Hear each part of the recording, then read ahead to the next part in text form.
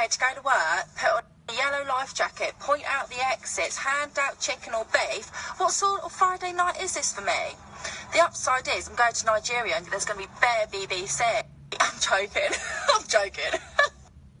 All the Nigerians are going to be there like, give me Coca-Cola, give me beef. Why you have no beef left? I want beef. And I'm just going to be there like, sorry, sorry, we've run out of beef.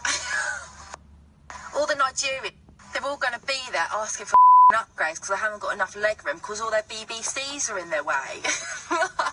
Big like that, swinging from side to side.